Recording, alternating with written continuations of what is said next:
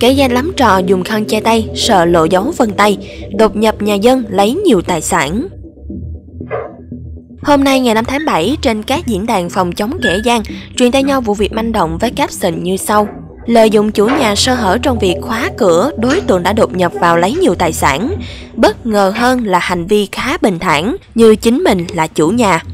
Qua đây, chủ nhà lắc đầu chán nản tự trách bản thân, sao mà xui quá trời quá đất. Xem lại camera mà chán nản thật sự, Càng hết lời không muốn nói thêm và muốn kênh Sài Gòn TV chia sẻ rộng rãi vụ việc để mọi người nâng cao cảnh giác.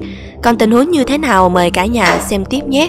Cụ thể, vụ việc xảy ra tại khu vực quận Phú Nhuận, thành phố Hồ Chí Minh qua camera nên ghi lại và lúc rạng sáng một đối tượng đã cậy cửa len lét vào nhà dân lấy chìa khóa, bóp tiền có giấy tờ, rồi sau đó ngang nhiên mở cổng chính vào trong sân như trốn không người. Đáng chú ý, hắn ta còn cầm theo một cái khăn để hành động mà không để lại dấu vân tay.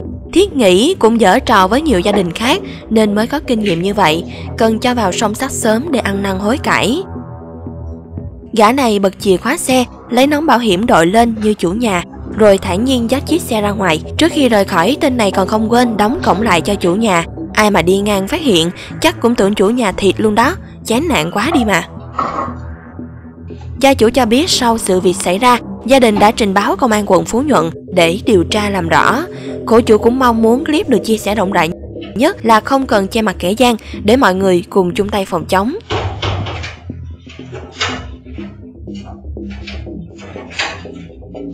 Còn bạn, bạn thấy sao về pha trộm tài sản sợ để lại dấu vân tay này?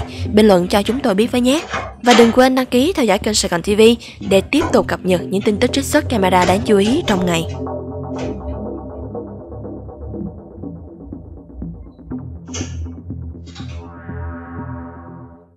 Gửi ngay tin nóng cho Sài Gòn TV qua hotline 0909 660 550 để có cơ hội gia tăng thu nhập nha.